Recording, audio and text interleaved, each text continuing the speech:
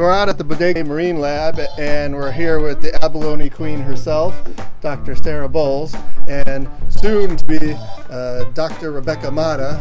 Uh, today we are going to try caviar for the first time. So we've got a few pairings here and I've got a couple uh, surprise pairing for them, a little lower brow pairing, let's say. Uh, Sara's a little bit of a foodie, so we're going to see uh, how they enjoy their caviar and what are their first responses to taste and flavor and texture of eating caviar uh, for the first time.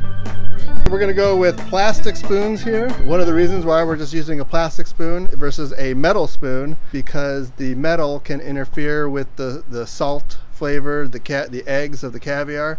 We don't have any abalone shell uh, spoons or mother of pearl available to us today. Rebeca, have, have you ever had caviar before? Never. You, you never, what's your, do you have an opinion of what do you expect it to taste like? Uh, salty and strong. Uh, Paris a acquired taste, so we'll see what I think of it. Uh, but I'm very excited. Okay, what about you, Sara? You have any opinions, any ideas, what your expectations of what caviar uh, may taste like? I have no expectations. I think I'm just really excited to try it for the first time. Um, I've heard that it can be a little buttery and also a little salty, but I'm about to find out for myself. Today we're going to go with the Tsar Nicoulai Reserve Caviar. The farm, Tsar Nicoulai Caviar, is in Wilton, California. Uh, Rebeca, would you do the honors of opening the caviar, please? Yes.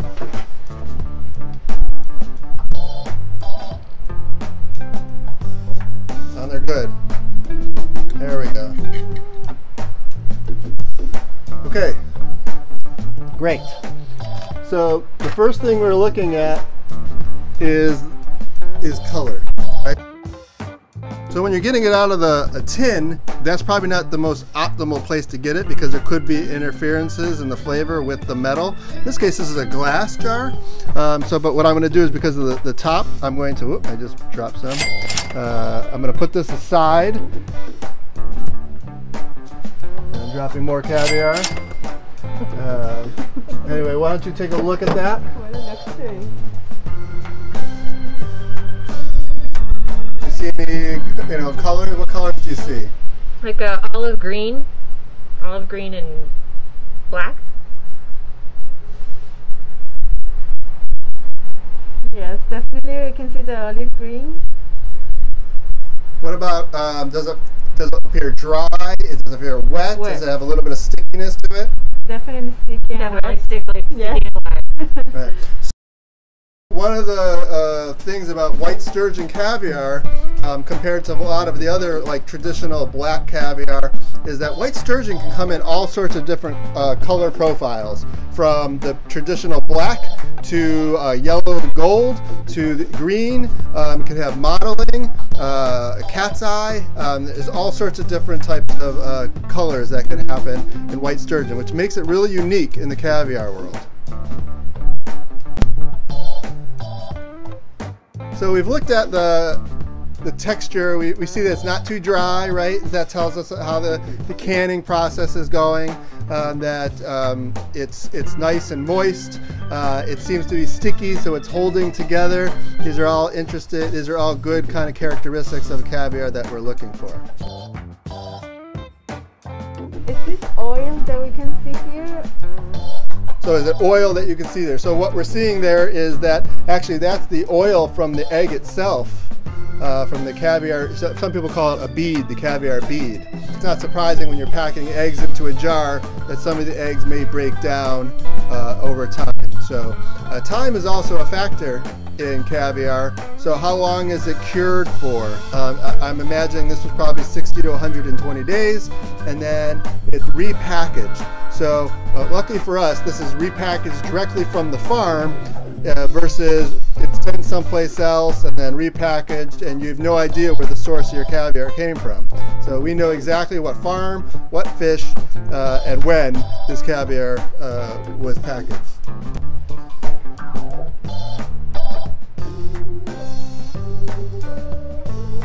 One of the first things that you would normally do in caviar is, um, you know, we've looked at the we've looked at the color. What about the size of the eggs? And these are all parts of the grading of caviar.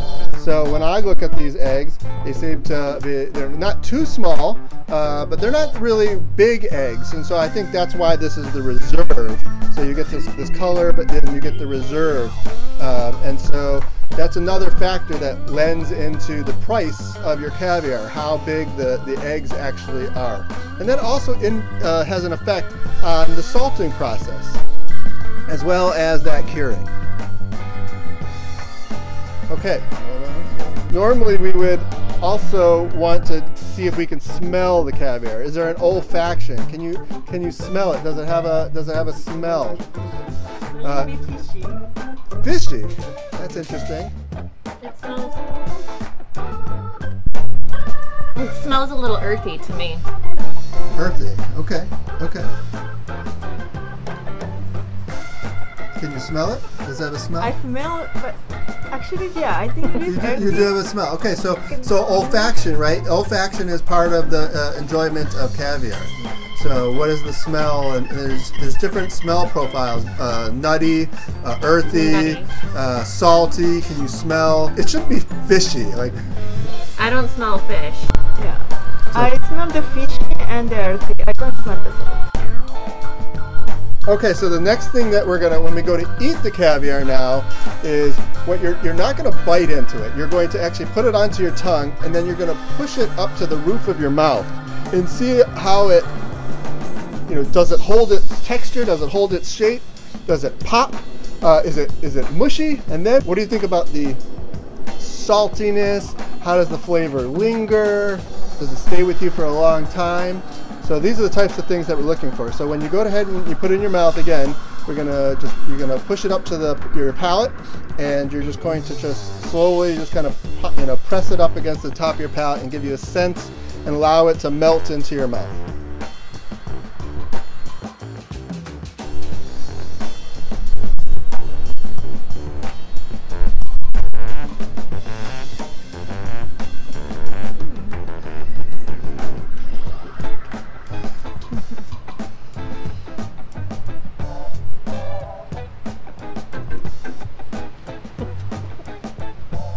You okay there, Sara?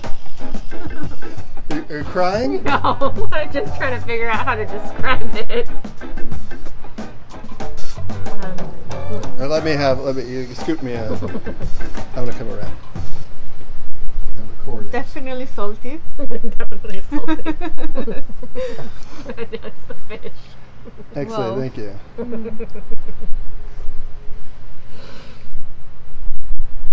Is it how you thought it would be? I was laughing. I don't think I've tried anything like I it. haven't either. So I don't. I can't say that that's what I was expecting. I was not so- expecting that.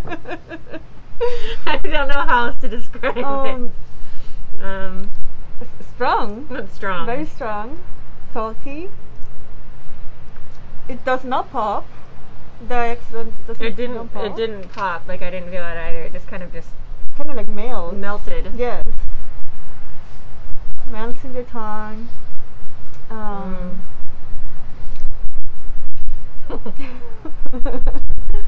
Well, let's try some more. Let's, let's get another, let's just take another bite. Just go ahead and take another bite. And try to get it.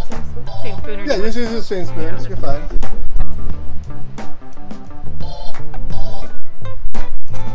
Yeah, I'll tell you. I'll, I'll do it with you here.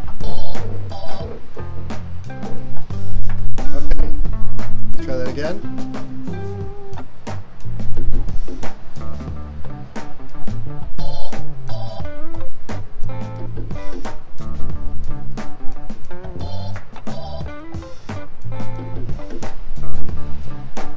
So it's slightly, it's just got a, a little bit of salt. It's not overly salty, so that's good.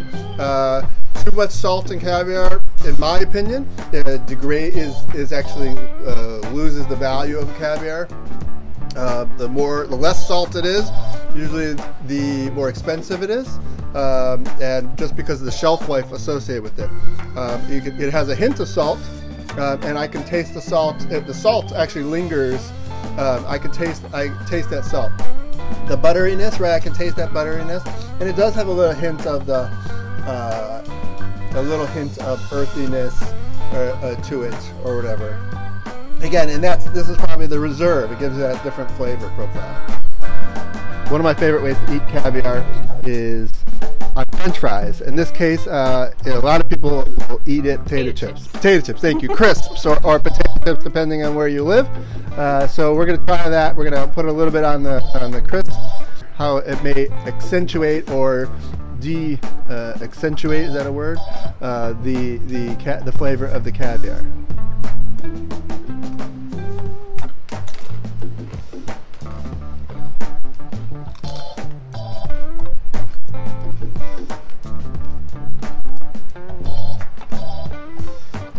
Couldn't really taste the caviar with the chips. Anymore. Mhm. So that chip was just too strong, The It's chip too is strong. The chip is too strong. Overpowers. or you didn't have enough caviar. That's true. That would be that would be my answer. I just didn't have enough caviar on my item that I was eating. Well, let's see about that one.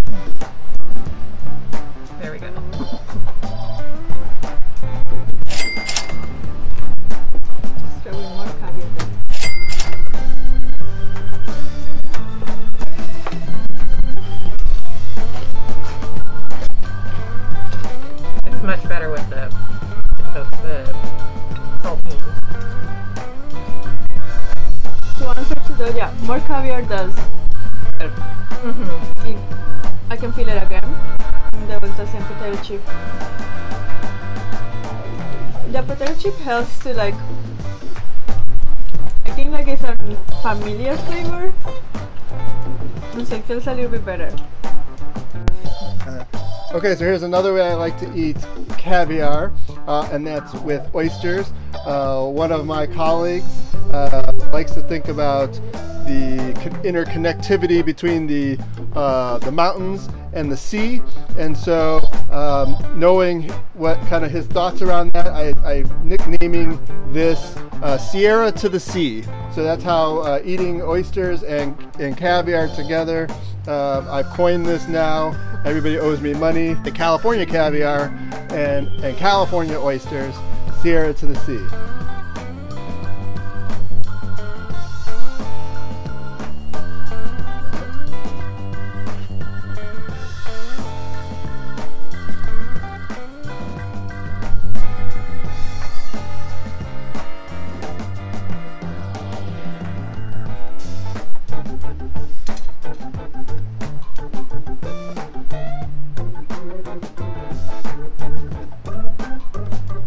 Enjoy.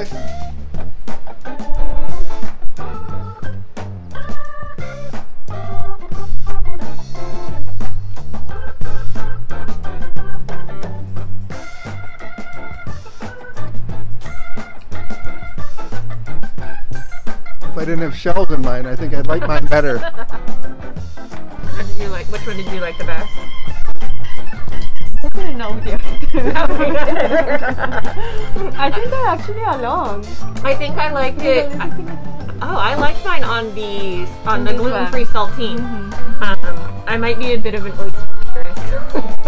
Although I like my oysters with mignonette sauce, so it was good, but I think that it made it like with the saltiness from the oyster and combined with the saltiness of the actually didn't even really taste the caviar. Yep. I think Maybe it's it's like because it was a bigger oyster. Maybe they didn't put enough caviar. I don't know.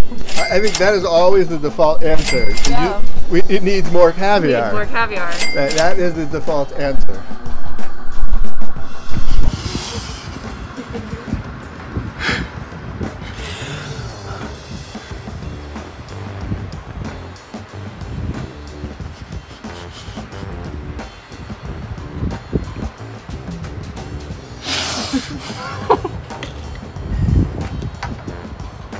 Really. Anyway, um, any last uh, thoughts uh, from uh, the abalone queen, Dr. Sara Bowl? No, I'm just ready to eat some more caviar and oysters.